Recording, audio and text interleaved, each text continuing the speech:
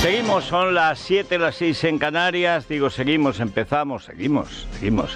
Vaya resumen de prensa que habéis hecho hoy. Realmente, eh, bueno, ahora les, ahora les cuento. Lo primero, el tiempo. Eh, hoy es San Zacarías, felicidades a todos los Zacarías. Fue el primer papa que consagró a un rey. Según algunos, mala costumbre.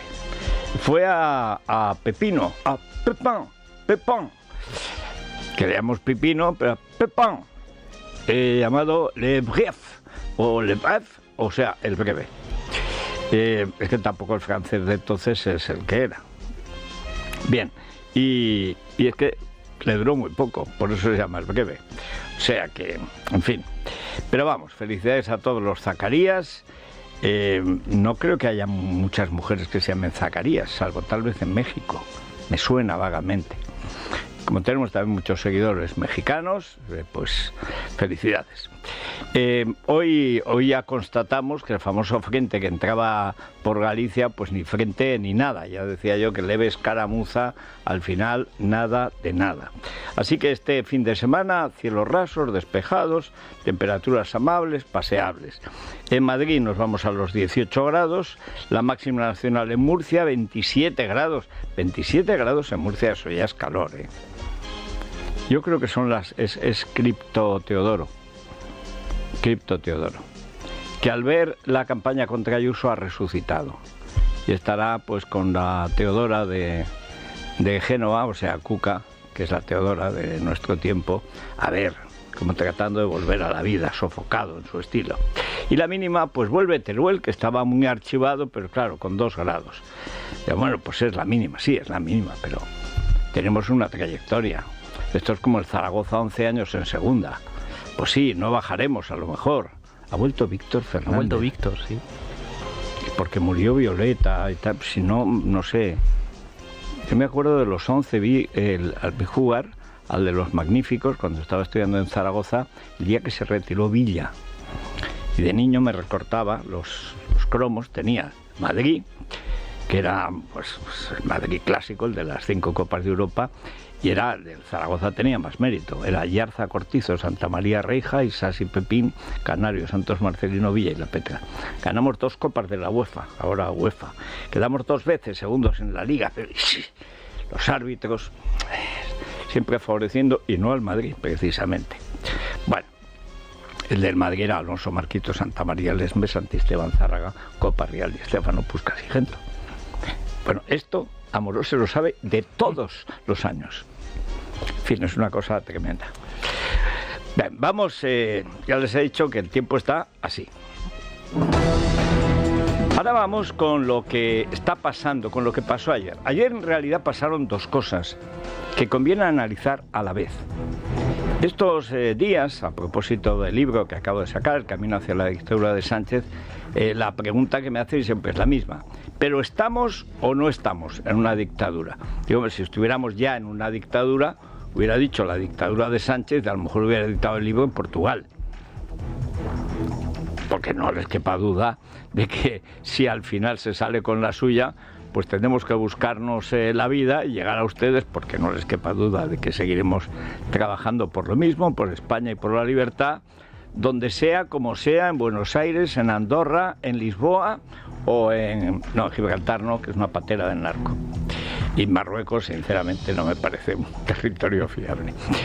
Pero lo cierto es que ayer vivimos las dos, las dos caras de lo que ya es una dictadura.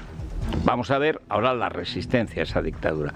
Y esas dos caras son la, ley de amnistía para Puigdemont y eh, la campaña para liquidar a Ayuso. Son las dos caras. Eh, no se pueden separar, además son, son dos actuaciones. Una, eh, utilizar el legislativo para cargarse la Constitución y otra, utilizar los aparatos del Estado para acabar con los derechos civiles de los ciudadanos. Es más grave, mira que es grave la ley de amnistía, pero es más grave lo de Ayuso, porque significa que ya hay un mecanismo que en su día denuncié yo como la Brigada Político Fiscal, que además tiene una base que es ascender a los que no son inspectores para que tengan el mismo sueldo y rango y con los de abajo liquidar a los de arriba que son más picajosos con la ley para hacer lo que mande el comisario de turno. Y además la actuación de la Fiscalía. La Fiscalía ha sido fundamental siempre, junto con el Tribunal Constitucional, en la constitución de regímenes comunistas bolivarianos. Y es esencial. ¿Para qué sirve la Fiscalía? Para perseguir a los oponentes políticos. ¿Qué es lo que está haciendo la Fiscalía? En este caso se ha ayudado de, la corrupción en el Ministerio, en la Agencia Tributaria y en el Ministerio de Hacienda. Esta, esta corrupción no es la primera vez que aparece, porque ya la utilizó el infame Montoro, que no sé cómo no está en el banquillo o en Soto del Real, que sería su sitio. El infame Montoro es el que vulnerando la Constitución, los derechos eh, civiles, el derecho a la protección de datos, a la intimidad, etcétera, empezó a publicar las listas de defraudadores, que es una forma de terror fiscal. Eso es ilegal. Eso es ilegal. Como es ilegal haber saltado, lo contó muy bien ayer Ignacio Ruiz Jarabo, dijo que es el caso más escandaloso en la historia de la agencia tributaria de lo de Ayuso. ¿Por qué es el más escandaloso? Porque no es un caso más, es probablemente el primer caso de la dictadura de Sánchez. Lo que quiere hacer Sánchez con Ayuso es lo mismo que Maduro con María Corina Machado. Es decir, inhabilitar a alguien que cree que le puede hacer sombra en el poder. En este momento, eh, su oponente es Feijó. Pero con Feijó y además su gran aliada es Ayuso. La fuerza básica del Partido Popular sigue estando en Madrid, la fuerza política. No hay más que ver el grupo parlamentario. Hoy viene, por cierto, a las 9 y 20 viene Cayetana Álvarez de Toledo, recuperada por Tellado. Tú ves hablar a Tellado y podía ser perfectamente el primo de Ayuso. ¿Por qué? Porque es el PP que está dispuesto a dar la batalla. Luego están los Sorayos, es decir, la horda de Génova. Los Teodoros con la secretaria general Cuca Teodora. Que esos son los que no querían hablar de Begoña. Y nos lo contó aquí Miriam Muro, y es rigurosamente cierto.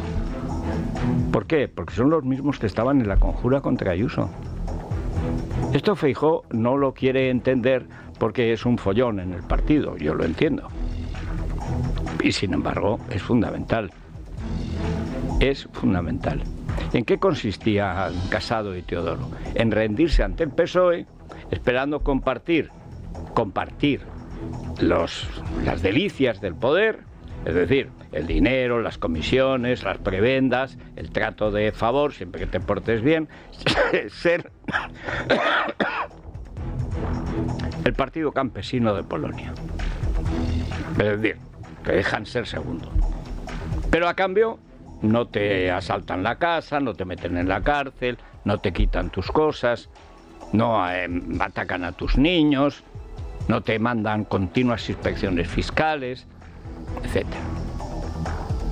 Esto es fundamental y evidentemente hay una parte del PP que está por la lucha, y hay una parte del PP que está por la rendición acomodada por ser el ministerio de la oposición. En el caso de Vox es todavía más disparatado. El caso de Vox es alguien que con tal de que se hunda el PP está dispuesto a ayudar a Sánchez en todo, ya se vio en Galicia. En Galicia hubo dos, dos partidos que lamentaron el resultado, el Partido Socialista y Vox. Santiago Bascal en persona dijo que era un mal día para España. O sea, la derrota de la izquierda y el separatismo en Galicia era un mal día para España. ¿Por qué? Porque él no pintaba nada. Es la realidad. Y con estos bueyes hay que hablar.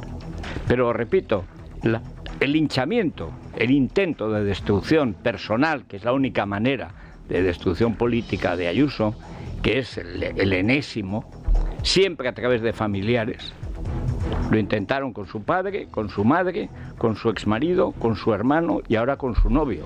Espero que no tenga mucha más familia. Pero lo van a seguir intentando. Lo grave del asunto es que la Fiscalía ya actúa como un poder comunista. Es decir, sin límites, sin respeto por la ley. Y además que cuenta, como el, el diario golpista de la mañana, Lo País, o el Granma, o el Izbestia, cuenta con sicarios dispuestos a aplaudir cualquier cosa que le haga. Que dicen que es una inspección de manual. Actuación administrativa de manual. Primero, no es una actuación administrativa, es una actuación política. Una inspección que no se había terminado. Ahora utilizan un correo del, del, abogado para decir había reconocido delitos. No, como todo el mundo que negocia en una inspección fiscal propone pagar esto y no otro, porque están, estamos hablando de deducciones. Por lo visto, como a Gugurlian, como él no paga en España, o sea, el presidente del país, agraciado con Indra, a cambio de los trabajos sucios del SER y, de, y del periodicucho ese asqueroso, es que no paga, no paga en España, pero ni el IRPF ni el impuesto de sociedades. De y estos son los que das lecciones, naturalmente. ¿Qué cree? ¿Que los puticoldos llegaron ahora? No, no, los puticoldos vienen de Zapatero. Estos son los visitadores nocturnos de la Moncloa. Estos son los de Roures. Por cierto, los mismos del bar. Esto es una cuestión que hay que entender. Yo siempre digo, cuando me preguntan eso, que un 70% de la dictadura está empedrado. La Fiscalía, el Constitucional y el Tribunal de Cuentas. Y a partir de ahí, con los medios criminales y criminosos que tienen, van a ir a matar a la oposición, no a derrotarla. No, no, tienen que matarla porque no son capaces de derrotarla. Sánchez no puede salir a la calle. Ayuso no puede salir a la calle porque se le abalanzan encima a besuquearla. Cuando llegue la campaña de Cataluña, ¿quiénes van a ir a Cataluña? Pues irá a Cayetana, irá, bueno, en el caso de que Feijó sepa a quién presenta y si se presenta. Parece que le gusta Inés Arrimadas. Mira que Feijó es bueno a veces, pero se le paró el reloj hace 15 años. Inés Arrimadas es la que traicionó, junto a Ábalos, es la que traicionó al Partido Popular. Es la que huyó de Cataluña. Ciudadanos, aparte de las personas, Ana Grau, Carrizosa, que, son personas valiosas, no aportan nada. El pacto en Cataluña tiene que ser con Vox. Pero usted dice que Vox es una porquería, sí, pero es lo que tenemos. Una cosa es que la línea política sea una porquería y otra cosa es que los votantes son los mismos. Gente que votaba al PP pasó a Vox, ahora puede pasar al PP, la cuestión es que no se pierda ningún voto. Lo normal, lo que deberían intentar, al menos intentar, no es el pacto con Ciudadanos, que es pactar con un difunto. Es el pacto con Vox. Si Vox no quiere, que seguro que no querrá, porque está en la secta, en el yunque y esas historias, o sí, vaya usted a saber, pues entonces que haya, que no se pierda ni un solo voto español en Cataluña. Aún así vamos a perder, pero no es lo mismo perder 6 a 4 que 9 a 1. Porque esto va a durar. Y llegará el referéndum, etcétera, y según tengas eh, una posición fuerte en el Parlamento de Cataluña y en el Parlamento español, podrás hacer más o menos política. En consecuencia, lo primero, ver que ya hay una parte del gobierno que actúa como una dictadura comunista bolivariana, que la fiscalía es una fiscalía comunista bolivariana, que la agencia tributaria actúa como un brazo. La brigada político-fiscal, pues si lo publiqué hace dos meses en, cuando me enteré de que estaban cambiando el régimen de ascensos de, la, inspección fiscal, haciendo inspector al que no tenía oposiciones. Haces una leva, si esto lo hizo ya Lenin.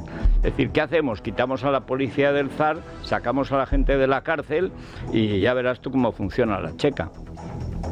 En este caso no tienen que ser delincuentes, basta que, puedan cobrar el doble siempre que favorezcan al gobierno. Vamos, lo van a favorecer de mil amores. Decía ayer Ruiz Jarabo, son un Estado dentro del Estado, no, son una mafia con poderes de Estado. Los españoles no tenemos derechos civiles ante la agencia tributaria, no de ahora, de hace muchos años. Pero lo peor viene desde Borrell, el terror fiscal, con Lola Flores. Pero especialmente con Montoro y ahora con estos mangutas. Entonces, ¿qué es lo que, lo que tenemos que ver? que la ley de amnistía y el hinchamiento de Ayuso son partes de un mismo proceso, que es la construcción de una dictadura, que es la dictadura de Sánchez, porque es lo que hay, podría ser de otro, porque aquí el, el proceso lo dirige la ETA y la mano de obra es el golpismo catalán. La dirección política es de la ETA. La mano de obra es el golpismo catalán. Y el que tiene que coronar la gran traición a España, pues tiene dos caras. Por un lado se llama Cándido y por otro se llama Pedrito o Begoño, como le quieran ustedes llamar. Esto es lo esencial. Ya estamos, en parte, ya estamos en una dictadura. Y a partir de ahí hay que entender que sobran chanquetes, sobran blanditos, sobran cobarduelos y sobran soñadores con un bipartidismo que murió hace mucho tiempo. No existe el PSOE, no existe convergencia, no existe el PNV. Hay un proceso revolucionario y ante la revolución o la derrotas o te derrota. Ante un golpe de Estado o gana el golpe o gana el Estado. Y lo que hemos visto es cómo está ganando el golpe. Rosana. Buenos días, Federico. El Congreso ha aprobado por 178 votos a favor, 172 en contra, la ley de amnistía. Pedro Sánchez se ausentó del debate en el Congreso, pero sí acudió a la votación con aplauso y felicitación final que no fue general. La vicepresidenta Yolanda Díaz permaneció sentada en su escaño y con cara de preocupación, mientras el resto del Gobierno y diputados del PSOE celebraban el resultado. Díaz expresaba así no su rechazo a la aprobación de la ley, sino su rechazo a la suspensión de los presupuestos y escenificaba el choque con Sánchez como consecuencia de la postura de los comunes en Cataluña y que ha derivado en una convocatoria electoral que nadie esperaba. La amnistía pasa ahora al Senado, donde su tramitación se prorrogará durante dos meses. En este tiempo, en la Cámara Alta se desarrollará la comisión de investigación dedicada al caso Coldo Sánchez. Tras la votación, tanto Esquerra como Junts dejaron claro que la ley de amnistía no es un punto final de nada, que el próximo objetivo es un referéndum para la independencia. Partido Popular y Vox denuncian un acto corrupto que a su juicio marcará el principio del final de Pedro Sánchez. Escuchamos a Pachi López, Alberto Núñez Feijó, Santiago Abascal, Pilar Bayuguera y José María Cervera, portavoces de Esquerra y Jun respectivamente. Dejen de decir que nos vendemos al independentismo o que traicionamos o que nos rendimos ante los terroristas, porque a España a España, lejos de romperla, la unimos y la vertebramos con nuestras políticas. Buscamos sumar, no dividir. El señor Sánchez lo que tiene por delante no es una legislatura, es una agonía de un presidente que se mantendrá si Puigdemont quiere, solo si Puigdemont quiere. Las elecciones catalanas marcarán el inicio del final de este gobierno. Cuando Sánchez deje de ser útiles, le dejarán caer. Y lo sabe.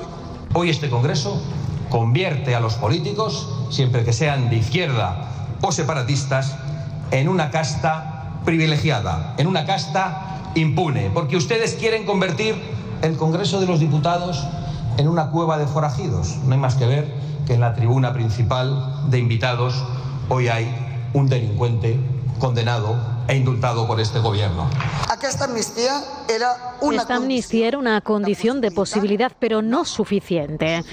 Seguiremos en el camino de la liberación nacional y lo haremos por los conductos democráticos, pacíficos, cívicos y dialogados. Y esto es un compromiso firme. No vamos a parar hasta el ejercicio del derecho de autodeterminación.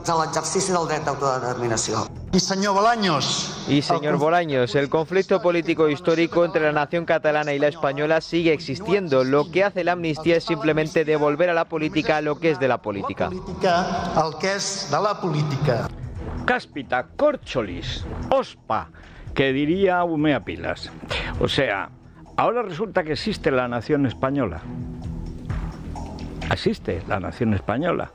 Y si existe la nación española, ¿qué derechos tienen los españoles en Cataluña? Es más, ¿qué derechos tienen los españoles en España? Porque estudiar en español, por ejemplo, derecho básico, no pueden. Hay un tercio de España en el que no se puede estudiar en español. Es más, son perseguidos los padres y los hijos.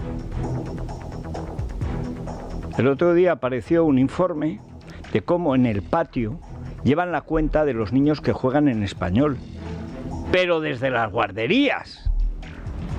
O sea, esto no ha pasado ni en el régimen nazi.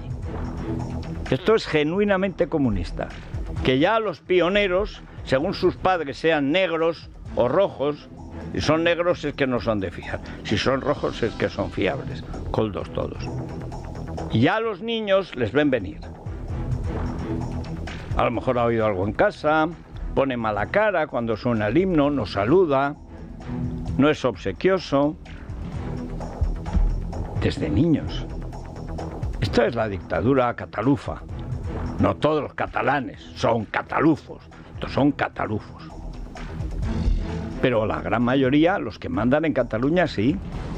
Y luego están los sinvergüenzas. El otro día vi a Sánchez Libre, uno de los hermanos, que se ha dejado la barba larga, da igual, con esa cara, te puedes tapar lo que quieras, diciendo que, claro, hay que buscar un pacto fiscal por, para acomodar eh, la nueva situación y todo y yo, y todo y toda la pasta. Es decir, ladronazos que utilizan la debilidad de España para sacar tajada. Son lo que llaman mi ley en Argentina empresarios, porque empresarios no son. Competir libremente no saben. Siempre es arancel, protección política, a cambio, naturalmente, de corrupción. Ese es el empresariado catalán. ¿Hay excepciones? Sí, las que se fueron. Las que huyeron y los que no se pudieron ir y se volverán a ir. Imagínense si, si llega el pastelero loco y empieza otra vez el proceso. Nos irá de Cataluña, pues el que no pueda huir. En fin, pero vamos con esas conjeturas que ayer tratábamos de, aclarar sobre qué va a hacer el verdadero presidente del gobierno en España. No elegido por los españoles, elegido por Sánchez para salvarse. Porque es que hay un problema, que, es que Sánchez perdió las elecciones. Esto le, cuesta admitirlo a Sánchez. Sánchez perdió las elecciones. Y la única manera de mantenerse en el poder es entregarle el poder real, el gobierno real, a un delincuente, a un prófugo de la justicia, junto a los asesinos y junto al resto de los golpistas. Y en esa incertidumbre estamos. ¿Cuánto va a durar el tiempo que le dará el delincuente al que debería ser policía, ni se sabe. Bueno, pues Puigdemont va a anunciar la semana que viene si se presenta a las elecciones catalanas como cabeza de lista, si lo hace también a las europeas o si renuncia a alguna de estas dos opciones. Lo que está claro es que el prófugo de la justicia no podrá hacer campaña electoral. Junts asegura que vendrá el debate de investidura que puede retrasarse entre dos o tres meses más tras las elecciones. El PSC reconfirma a Salvadorilla este fin de semana en un congreso que arranca hoy mismo y donde va a reaparecer de nuevo José Luis Rodríguez Zapatero. Partido Popular y Ciudadanos, por su parte, negocian una fórmula para concurrir juntos a las elecciones del 12 de mayo. En lo mismo se trabaja para las europeas. Cuca Gamarra y Adrián Vázquez son los interlocutores de este proyecto constitucionalista. El Partido Popular no confirma de momento a Alejandro Fernández, que es la opción más valorada en el Partido Popular, sin descartar a Daniel Sirera. El Partido Popular maneja encuestas que les sitúan en el mejor de los casos con 17 escaños en el Parlamento. La última vez que el PP manejó encuestas se pegó un tortazo monumental, fue en las generales pero no aprendemos. ¿Por qué? Porque el espíritu arriolesco, que en el libro del retorno de la derecha yo he analizado con vocación forense, pues está ahí. Es la derecha contemplativa, adaptativa, es la derecha superviviente, pero no combatiente. Y necesitamos una derecha militante, no una derecha paisajista. Hay que parecerse al paisaje. Esto es lo que llegó a decir cuando se rindió. Casado, al primer tortazo se rindió. Dijo, es que tenemos que parecernos. No, un partido no está para parecerse a.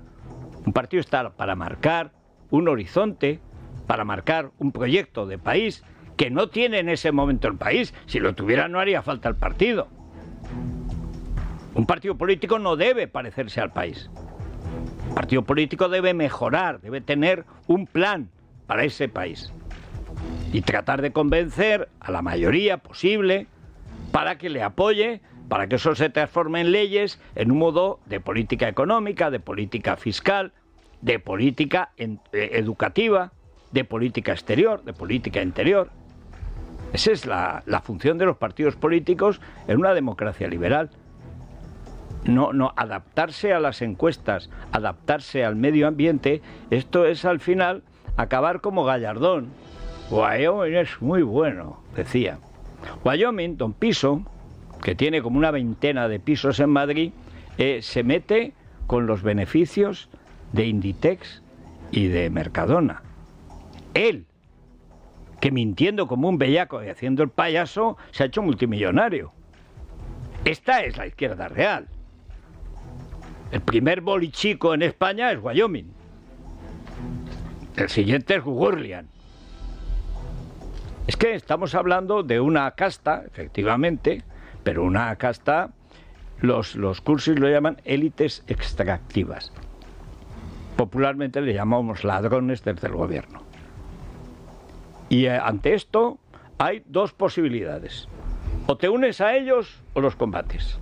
No hay más. Ante la dictadura de Sánchez, que repito, ayer tuvo dos manifestaciones, el, enésimo intento de linchamiento de Ayuso y el linchamiento de la Constitución con la ley de amnistía. Y ante eso solo caben dos posibilidades. O te enfrentas o te unes. Ante el golpe o estás con el Estado o con el golpe. Y está el PP oficialmente, la dirección sin duda está contra el golpe. ¿Todo el PP? No, no. El alma turbia, el alma blandurria, el alma Soraya del PP está en no tocar a Begoña para que Sánchez nos perdone y vamos a ver si llegamos a un 30% de votos. Oye, y con 140 escaños se vive muy bien. Y es verdad. Y es verdad. Y se gana, ¡puf! Es verdad. Eso sí, el país se va a freír espárragos. Eso es exactamente lo que pasó en Venezuela. Lo que pasó en Venezuela es que al primero que lincharon, hubo gente que lo apoyó y gente que prefirió ponerse de perfil. Exactamente lo que pasó ayer y anteayer. Pero exactamente lo mismo. La oposición tiene que ser un bloque. Y en Cataluña debería, a ver cómo lo cuenta Cayetana, no sé lo que pensará ella. Pero, ¿qué más querría yo que ver aquí juntos a Abascal y a Feijó anunciando que se presentan juntos en Cataluña. Con Ciudadanos, por supuesto. Pero vamos, Ciudadanos es un excipiente, es un agregado, es el azúcar glass. La ensaimada se hace con otro material. Ojalá. Y en todo caso, en los medios, aunque sea antipático para el PP y para Vox, tenemos que insistir. Su obligación es presentarse juntos, hacer un frente español, que por eso mismo es constitucional. En fin, mientras voy a conectarme con el planeta, con Iberia. Seguimos con Silvia Ribeiro y Sergio Eras. Eh, recordarán ustedes que talentos naturales, como esa, esa, esa voz cazallosa, cazallera, doña Cazalla, podríamos decir, la ministra de Hacienda, que aparte de delinquir, parece que viene de delinquir de, la chocolatería de San Ginés, o sea, de tomar los churros con chocolate con una resaca atroz. ¿Qué es una voz de resaca? Esto, esto es una voz de resaca. O sea, la ministra de Hacienda. Bueno, pues dijo hace apenas 10 días que los presupuestos estaban hechos. Pero es que lo dijo también Bolaños. Se felicitó a sí mismo, ayer se aplaudió. O sea, que eso ya es el colmo pero se felicitó porque ya estaban los presupuestos, ya estaba la legislatura y dijo Sánchez, el boliviano, bolivariano y dominicano, dijo, hay gobierno para rato. Quiero decir, hay gobierno para un rato. Vamos a ver lo que dura el ratito. Pero ayer, ayer estaban que, claro, tienen que plegar velas. Porque es que no va a haber presupuestos.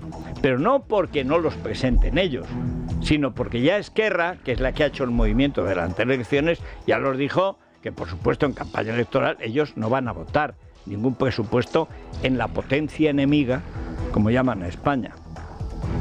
Porque para Esquerra España sigue siendo la nación enemiga, dentro de Cataluña y fuera de Cataluña. ¿Y qué hacemos con Yolanda? La viuda de sí misma. Yolanda traicioncillas Pues el problema de Yolanda es que no saben qué hacer con ella. El ala socialista del gobierno resta importancia a la imposibilidad de aprobar los presupuestos de este año, aunque desde Sumar, Yolanda Díaz considera que se han rendido demasiado pronto y que tendrían que seguir buscando un acuerdo. Aunque Sánchez y Montero consideran ahora que no es un problema prorrogar las cuentas de 2023, en el año 2018 el hoy presidente exigió hasta en 10 ocasiones a Mariano Rajoy que convocase elecciones si no lograba sacarlas adelante. La pasada semana, antes del adelanto en Cataluña, Félix Bolaños rebajaba ya las expectativas y ayer la ministra de Hacienda Montero encuadraba la decisión de prorrogar los presupuestos en la normalidad. Un gobierno sin presupuestos es tan útil como un coche sin gasolina. No había presupuestos generales del Estado. El señor Rajoy lo que tenía que hacer era anticipar las elecciones. Va a haber acuerdo de presupuestos. Hay una voluntad de todos los grupos parlamentarios que apoyan al gobierno de que haya presupuestos. Tenemos en este momento la capacidad de que sigamos adelante durante todos estos meses con las cuentas que eran las cuentas más sociales de nuestra historia. Unas magníficas cuentas que aprobamos para el año pasado y que desde el 1 de enero están prorrogadas. Es decir, que tampoco las pudieron aprobar ahora. la, prórroga viene de tiempos de Ábalos. O sea, de tiempos de los puticoldos. De tiempos de Illa. Que por cierto, no dejan de salir informaciones que van a amenizar la campaña electoral de este zanguango. El que intervino en la Comunidad de Madrid con datos falsos para pagarse la campaña de Barcelona. Hubo dos movimientos, además se produjeron a la vez. La Porta colgó una, una pancarta delante del Bernabéu diciendo hemos vuelto. Habéis vuelto a pegaros los payasos. Y además robando. Si es que es una banda de ladrones. siempre lo he dicho, el problema del Barça es que es el Ministerio de Exteriores del golpe de Estado. Y el que no lo quiere ver así es porque está con el golpe de Estado. Por ejemplo, toda la basura deportiva que campea contra España. Hay que ver, hay que ver hay que ver cómo se está dando la corrupción de los negreiras, también llamados árbitros. Pero, insisto, el problema de fondo es que al mismo tiempo, a la vez, como parte de la actuación en una sociedad enferma, como es la catalana, tan enferma como la vasca, una sociedad aterrorizada, que vive en el miedo, en la sumisión. Uno es la pistola directamente, en otro la pistola son los periodistas y el Barça. El Barça es el Ministerio de Exteriores del Procés. En el golpe de Estado no han procesado a, a Guardiola, que fue el primero que defendió el golpe de Estado, incluyendo el tsunami. ¿Quién es el ministro del Exterior del tsunami? Josep Guardiola. El primero que defiende el terrorismo, el tsunami, y García Castellón se ve que no sigue la Premier, porque es Guardiola. Eh, pero usted, qué desagradable se pone. Sí, me gusta además. Pero, insisto, no tienen presupuestos. Les da igual. Pero si luego no saben qué hacer con ellos. Ustedes creen que esta zurupeta de San Ginés, que me perdone la chocolatería, que es muy buena. Cuando yo bebía, recuerdo una noche, de a las 6 de la mañana. Qué buenos estaban los churros. Muy buenos. Churros, chocolate y todavía una copa decían para el gusanillo. Dice, pues no me he ido a dormir, por si acaso. En fin. Bueno, vamos ahora con la campaña mediática contra Ayuso, que es la de siempre. Le hicieron contra su padre, que en paz descanse. Le hicieron contra su madre, que por cierto es estupenda. Gran lectora, por cierto. Sea, si hubiera leído Pilar Alegría la mitad de los libros que la madre de Ayuso, tendríamos ministra de Educación. Después fueron contra su exmarido, recuerden. Después contra su hermano. Ahora contra el novio. Bueno, es un poco difícil. Y siempre es lo mismo.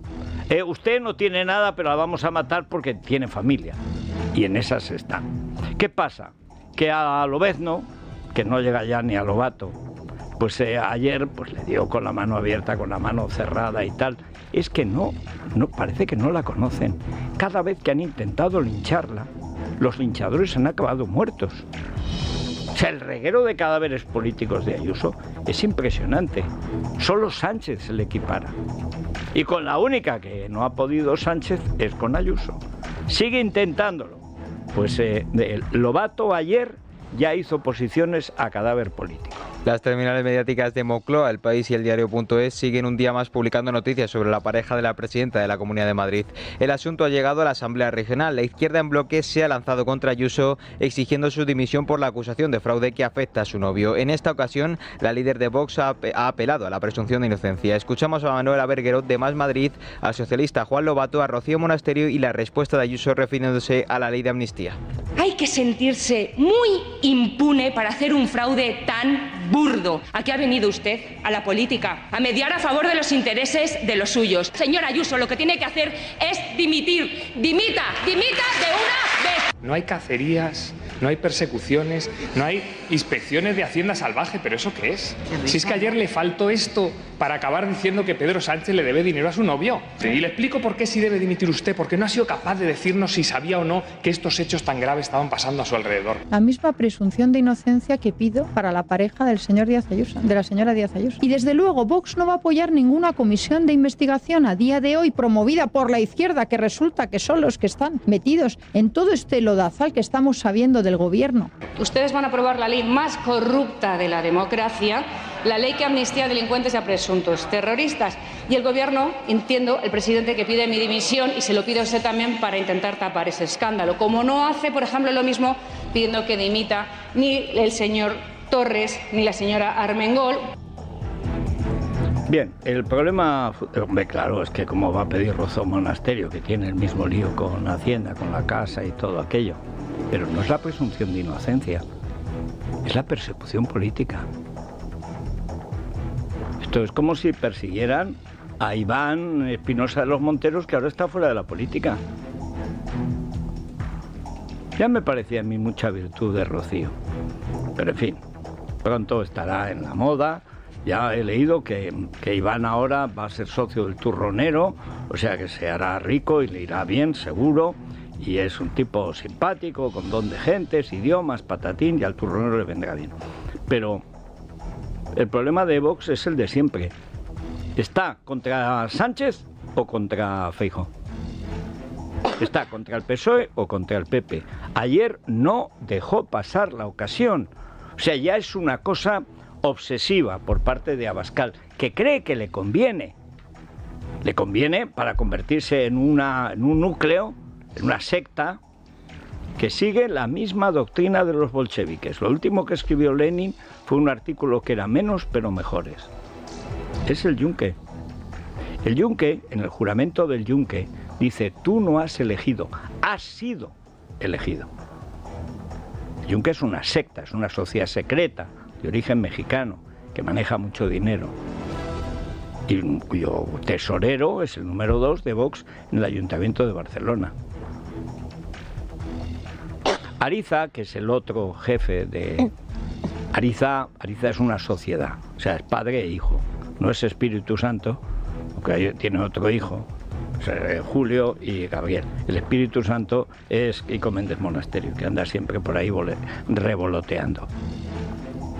Pero siempre dicen lo mismo. Ay, es que Federico, ¿por qué habla tanto del yunque si tiene tan poca importancia? Si tan poca importancia tiene, ¿por qué no lo echas? ¿Por qué echaste a Carlos Dávila de director de la Gaceta y pusiste aquí con Méndez Monasterio por hacer un editorial contra el yunque? Sociedad secreta, proscrita, condenada, y una de cuyas, de cuyas ramas es abogados cristianos, por cierto. Todo está en mi libro, desde entonces no ha venido aquí nadie de Vox, prohibición absoluta, por si les preguntamos. ¿Tú eres del yunque? No, si no existe el Juncker. Bueno, pues para no existir, repito, el tesorero número dos del Ayuntamiento de Barcelona. ¿Dónde se dirige ahora el partido? En Barcelona. ¿Quiénes lo dirigen? Los Garriga y el del Yunque. No, no tiene importancia. Y entonces, ¿por qué echas a los que denuncian al Yunque de, bueno, antes se llamaba Intereconomía, ahora no se llama Toro Becerro de Oro? ¿Por qué? Negocio. Bueno, vamos eh, con el, el problema de verdad, que es la corrupción absoluta del gobierno de Sánchez. Pero absoluta, total. Es que les han pillado con el carrito del helado. Sí, sigue publicándose novedades eh, sobre el caso Ábalos. Pueden leer ya en Libertad Digital que la UCO de la Guardia Civil ha detectado el rastro de Salvador Illa también en los contratos de la trama en Canarias. Además, el entorno de Pedro Sánchez reconoce las reuniones de Begoña Gómez en busca de patrocinios con Europa. También Voz Populi publica que el Instituto de Empresa, a diferencia de lo que hacen fundaciones de su tamaño y notoriedad, oculta los patrocinios de la fundación que montó el Africa Center dirigida por la mujer de Pedro Sánchez entre los años 2018 y 2022. Esto es muy importante. El Instituto de Empresa es una sociedad respetable, de un gran nivel intelectual y cultural. El fichaje de una señora que no tiene ni carrera, bueno, tiene la carrera de ser la señora, la hija de Sabiniano y la señora Sabiniano de las saunas. 14 en toda España. Si fuera proxeneta sería el mayor de toda España. No está mal, ¿eh? Su íntimo Javier Hidalgo, íntimo de Begoña, también tenía una agencia de modelas. Que menudas eh, juergas se liaban cuando venía un artista extranjero. Le llamaban el nombre de blanco. No, no es por lo que imagina, es porque lleva calcetines blancos.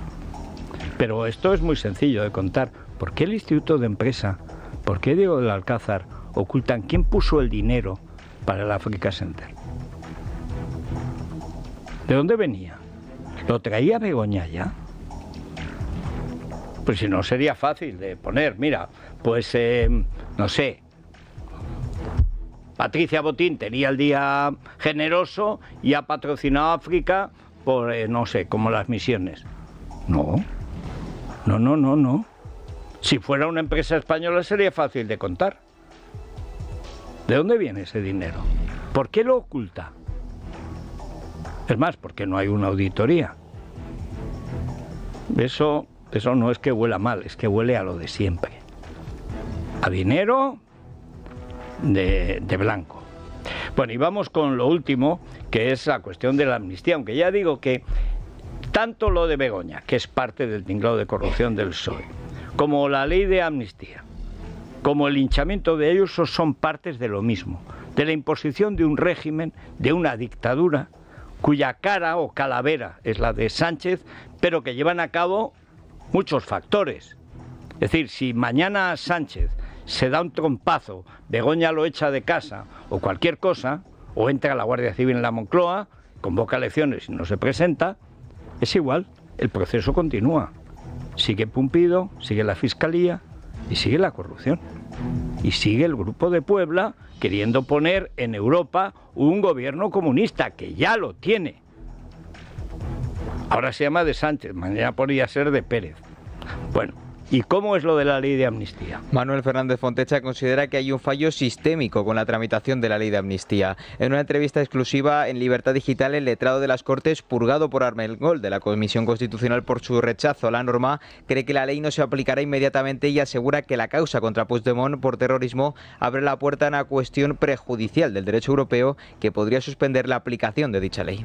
Yo creo que aquí está fracasando el sistema de control dentro del Congreso y los sistemas de controles externos. Yo creo que lo que hay es un fallo sistémico. Hay un fallo global de la tramitación del Congreso de los Diputados, que empieza por un informe que realmente lo único que dice es que la eh, amnistía no es palmaramente inconstitucional y sigue por un procedimiento ad hoc que han creado para tramitar esta ley, lo cual de por sí ya es eh, atributivo de nulidad. ¿Por qué es un procedimiento ad hoc? Porque se han vulnerado normas esenciales. Pero, pero ¿cómo se hace la dictadura? ¿Cómo se llega a la dictadura en Venezuela? Pues así, con leyes habilitantes, con circunstancias especiales. En el caso de Venezuela, lo cuento en la vuelta del comunismo, fue por el deslave, es decir, por una especie de aluvión que se llevó por delante, un corrimiento de tierras, por una inundación de un río, que se llevó por delante un montón de vidas, de haciendas, etcétera, tremendo. Y eso le hizo que Chávez se diera, se atribuyera, lo mismo que en la pandemia, poderes especiales, utilizando la misma fórmula de Hitler en el 33, las leyes habilitantes, que son leyes especiales para una circunstancia especial. Esa circunstancia especial nunca dejó de ser especial, pero dejó de ser circunstancia. Exactamente eso, exactamente eso es lo que está pasando en España. Vamos con CaixaBank a la prensa económica. CaixaBank patrocina este espacio.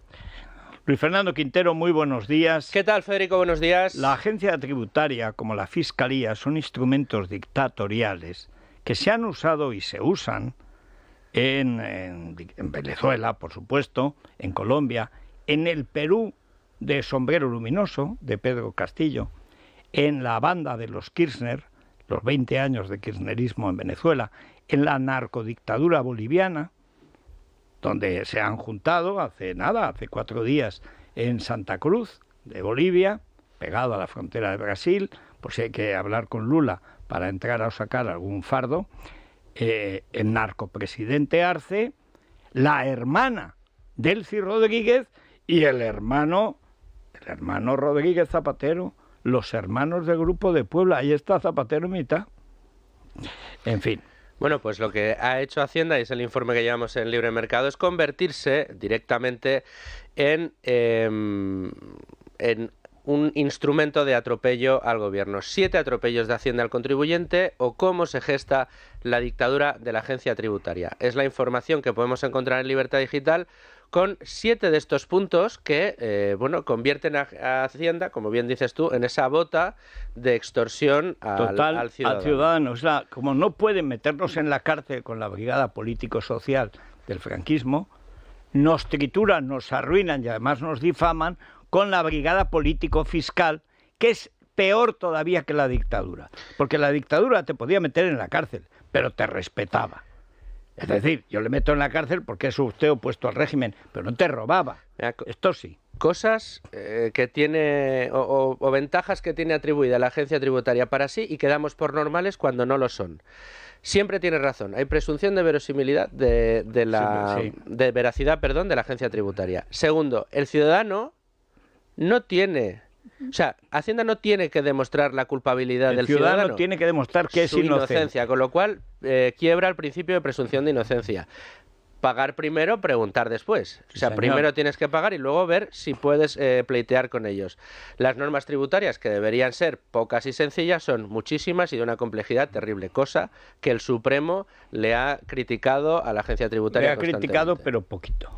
Y el hecho, que esto es para mí la peor, de que la agencia tributaria se equivoque y pierda un juicio contra un contribuyente después de 10 años pleiteando e insistiendo en que tiene razón, cuando definitivamente se la quitan, aquí no pasa absolutamente nada. En la agencia tributaria se cierra un expediente y se abre el siguiente. Y el que tal vez por corrupción o para ascender políticamente es el responsable, es impune. Es decir, cualquiera puede ascender mientras sea un sinvergüenza. Es así. Es así. Bueno, pues son las 8, eh, las 7 en Canarias. Eso es. Vamos a las noticias de cercanía, porque naturalmente, si alguien cree que el linchamiento de Ayuso va a triunfar, no conocen a Ayuso. Es decir, esto es, es la quinta, repito, es el quinto familiar, el padre, la madre, el exmarido, el hermano y ahora el novio. ¿Qué sucede? Que se han compinchado la agencia tributaria con la fiscalía. Pero la fiscalía ya estuvo en lo del hermano. Llamada la Fiscalía Anticorrupción cuando es absolutamente pro-corrupción. Dice, no vemos ninguna, ninguna irregularidad, pero vamos a investigarlo. Si no ven ninguna irregularidad, ¿cómo la van a investigar? Este es el héroe Luzón. Menuda pandilla, como diría Pepiño, de corruptos. Vamos a las noticias de cercanía y seguimos. Hoy a las 9 y 20 viene Cayetán Álvarez de Toledo, que ha triunfado en México y ha puesto de los nervios a AMLO. Eh, para eso, eso, eso también hay que tener nivel. ¿Cómo se ha puesto? ¿Cómo se ha puesto? Pero AMLO y toda la patulea indigenista. Tremendo. Es la mañana de Federico, con Federico Jiménez Los Santos.